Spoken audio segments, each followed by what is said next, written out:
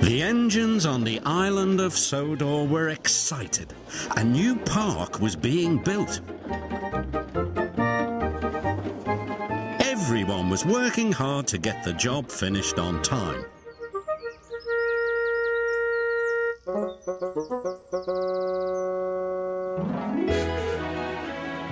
Duncan was feeling impatient.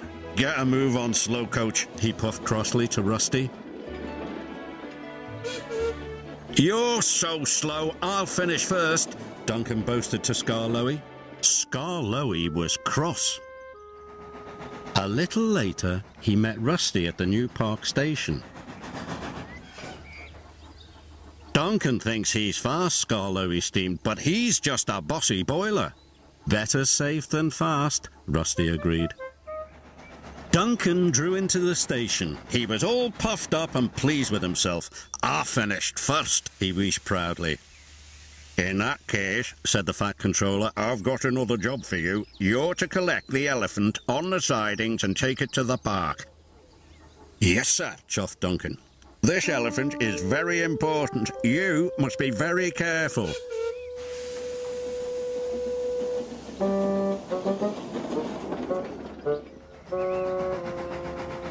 When Duncan saw the elephant, he was surprised. Why, it's only a statue, he said. This is an easy job. You must wait for the brake van, said the station master. This statue is very heavy. Nonsense, huffed Duncan to his driver. I've pushed heavier loads than this plenty of times. Let's go, Duncan, said his driver, but we must be careful. So they left. But without the brake van. But Duncan wasn't careful. He was impatient.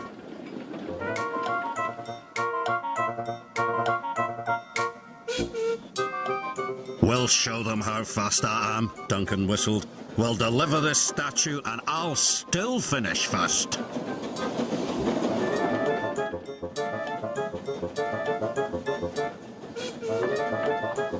Duncan started to speed up. Soon Duncan was going as fast as his wheels could carry him. His driver was starting to worry. So he tried to brake. But Duncan was out of control. He was scared. He had never gone this fast.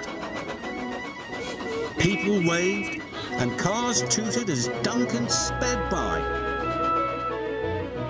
Suddenly, a tractor trundled across Duncan's line. Look out! shouted his driver.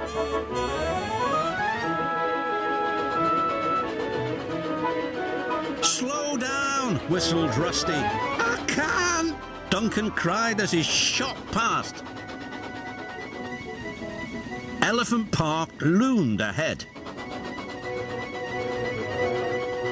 Duncan's driver applied the brakes was too late. The statue flew through the air. And landed in the lake. Luckily, nobody was hurt.